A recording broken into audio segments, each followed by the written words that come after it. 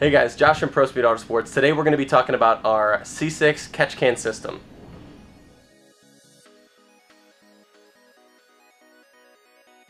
Some of the features that set our product apart from the others on the market are things like the internal baffling located on the inside of the C6 catch can, our universal mounting plate here located on the back which fits all C6 models inside the fender, the dual breather filters that come included with both kits, as well as our hardware and accessories, and our C6 catch can line kit, which includes the Dash 10 weld-on bungs that go on your valve covers.